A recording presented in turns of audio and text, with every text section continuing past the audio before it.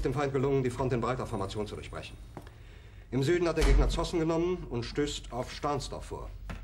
Der Feind operiert jetzt am nördlichen Stadtrand zwischen Frohnau und Pankow. Und im Osten ist der Feind bis zur Linie Lichtenberg-Marsdorf-Karlshorst gelangt.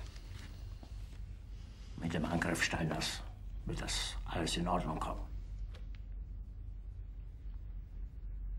Mein Führer, Steiner.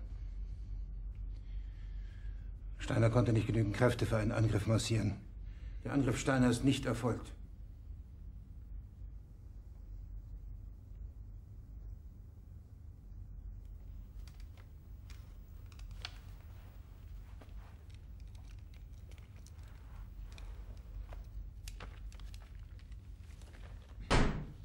Das war ein Befehl!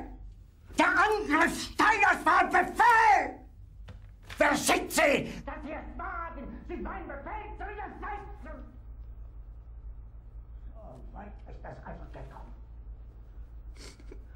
Das Militär hat mich belogen!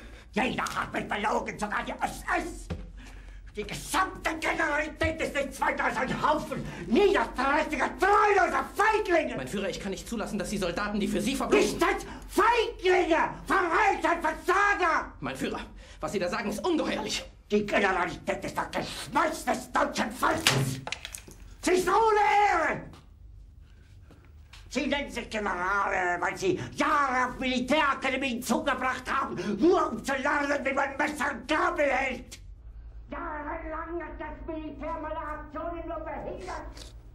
Es hat mir jeden nur ersichtlichen Widerstand in den Weg gelegt. Ich hätte gut daran getan, von Jahren alle höheren Offiziere liquidieren zu lassen, wie Stalin.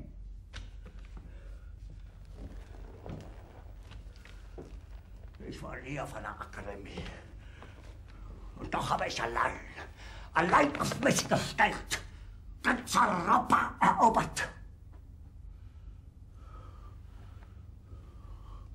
Verräter! Von allem Anfang an bin ich so verraten und betrogen worden. Es wurde ein ungeheurer Verrat geübt am deutschen Volke. Aber alle diese Verräter werden bezahlen. Mit ihrem eigenen Blut werden sie bezahlen. Sie werden saufen in ihrem eigenen Blut. Befehle sind in den Wind gesprochen. Es ist unmöglich, unter diesen Umständen zu führen. Der Krieg ist verloren.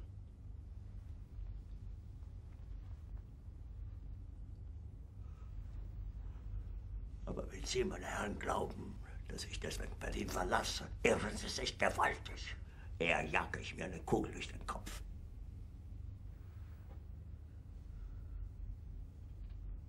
Tun Sie, was Sie wollen.